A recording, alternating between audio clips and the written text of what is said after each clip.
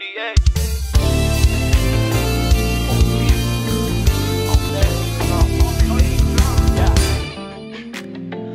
Hace más o menos tiempo le dije a todo lo siento, quiero ser feliz.